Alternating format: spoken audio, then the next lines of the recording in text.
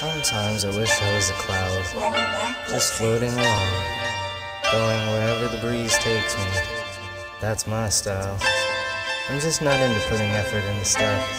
The only reason I became an ninja was so that I could do whatever I wanted. Man, what a drag. It was 1996 on the day of March 3rd when this Pisces was born into this cruel world. But he never knew how dark this life truly was until the day he seen some shit that made him grow up. He came from a family that lives through the struggle, trying to get a few bucks, stumbling through the rubble. Thankfully, we always had a roof over our head. My parents did the best to make sure I sleep okay in a bed. And even though the split, split apart through a divorce, it never really bothered me to see them change course. Cause if two people ain't happy, then that's okay. To say it was a good run, but now we must part ways. All I ever wanted for them was to see them happy. And yes, that's the truth, even though if it's happy. But it was the relationships I chose to have after. Weren't the best, but at least I got two more brothers.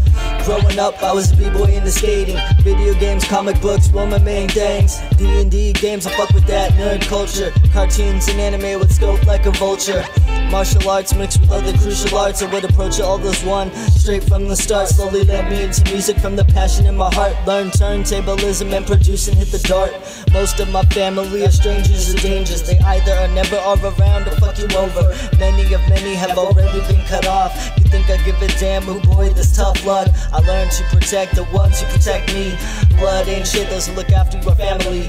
Actions speak louder than words, I must agree. My morals and my code just won't let shit be. 痛みを考えろ痛みを感じろ This is just the story of my life. 痛みを知らぬ者に本 These 当 are の the 平和はわから early ん days. You know, back then, 痛みを受け取れ痛みを知れ but now, I've grown. I've been through so much shit. guys won't even imagine. Life life. One crazy movie. Not to say I was fairly intelligent, but never would apply myself. I would get lost in the song and write what I felt. I was about nine years old when I was hospitalized, living close to death. So young will make you realize. So I focused on my soul and my passions, reaching for a distant world I may never be grasping. But still, yeah, still, no matter the hobby, I kept rapping. This music thing I felt was a warm, felt entrapment.